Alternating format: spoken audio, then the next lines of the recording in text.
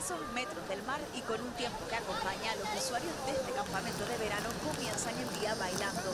Este tipo de alternativas eh, tienen que estar más visibles y se tienen que dar en muchos más municipios para que todo tipo de personas tengan las mismas oportunidades. Un campamento en el que participan niños y niñas de entre 3 y 25 años con diversidad funcional. Siempre es un reto trabajar con este colectivo y cada pasito que demos siempre es importante. Es un espacio seguro para ellos donde puedan al fin y al cabo incluirse dentro de la sociedad de una manera absolutamente normal y normalizada. Y en este caso les ha tocado compartir una mañana con los mayores del municipio con esta clase de gimnasia este tipo de actividades inclusivas, tanto con los mayores como con otros colectivos de la sociedad, son importantes para normalizar y visibilizar a este colectivo.